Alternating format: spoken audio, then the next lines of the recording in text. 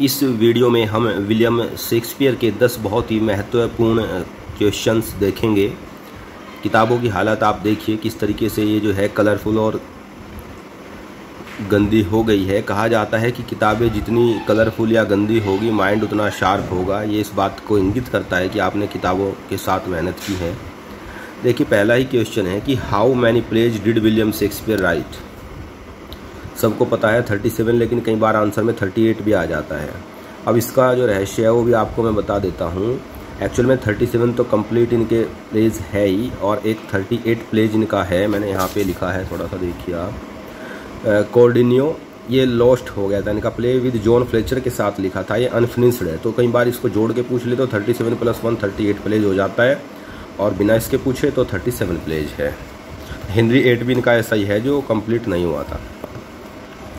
The phrase small Latin and less Greek, किसने refer की थी शेक्सपियर को? बेन जॉनसन, जो इनके शुभचिंतक रहे हैं और कॉन्टेम्प्रेरी रहे हैं इनके। Stratford is a charming little village in Warwickshire ये विलियम शेक्सपियर का गाँव है।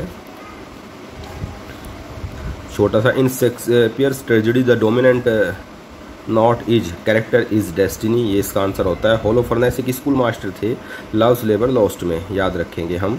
द डिफीट ऑफ़ परमेडा एक घटना है अंग्रेज़ी साहित्य की, जो 1588 में ये घटित हुई थी। The narrative poem Venus and Adonis is dedicated to तो ये actually earl of Southampton Henry Wriothesley baron of Titchfield सभी के लिए टू दीज थ्री आंसर इसका जो है वो डी होगा। ठीक है।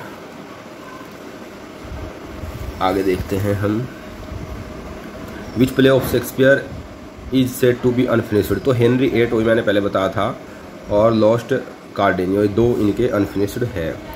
The first folio of Shakespeare plays came in 1623 and for this credit goes to two actors Heminge and Condell the folio content 36 plays one play was not included which one तो Pericles जो है, वो 1623 के first folio में नहीं आया था।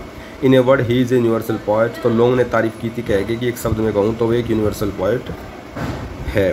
To study nature in his work is like exploring a new and beautiful country ये भी लोगों ने कहा है। I do not remember that any that any book or person or event in my life मेरे जीवन में कोई भी ऐसी जो है किताब और व्यक्ति नहीं है जिसने मुझे प्रभावित किया। और made so great an impression upon मेरे ऊपर इतना प्रभाव डाला हो जितना as the plays of Shakespeare Shakespeare के प्लेज ने जितना प्रभाव डाला है। तो हु सेड तो गॉड इन्होंने ये बात कही थी। ठीक है इतना ही रखते हैं इसमें धन्यवाद।